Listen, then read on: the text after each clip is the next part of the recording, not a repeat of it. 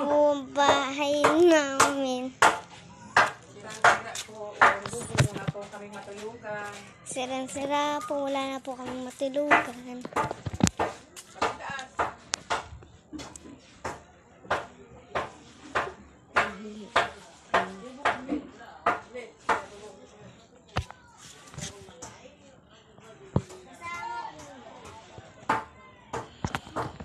Maliit na po ang bahay namin. Sira na po.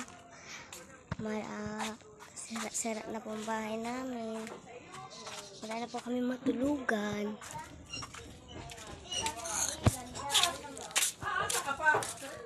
Ay, siya mag-iintindi. Sira, sira na po yung bahay namin. Sabihin, may pambili man na. Ano? Ang pinag-usapan niya, ang damage.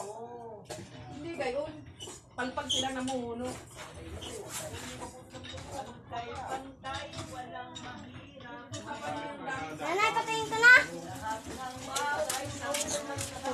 bahay namin. Pala yung banyo namin. Ito po pala yung banyo namin. Ito po yung labas namin. Sira na po. Ito po kusina namin. Na po. Bye!